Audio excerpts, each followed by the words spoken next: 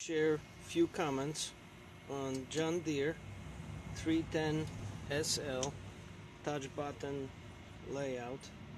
I would like to criticize that design. It's a checkered flag style design. All button all buttons feel the same.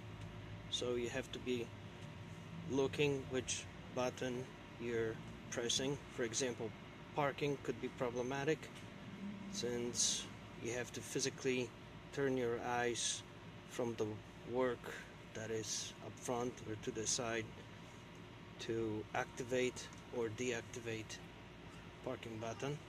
Lights it's a multi press type of switch so it's not as easy as in the older models or toggle switches where you just more or less knew where the switches are and you could activate activate them without looking so again parking takes a little bit of effort to activate and deactivate. Not as easy as for example beacon light toggle switch. It's in my opinion it's a terrible design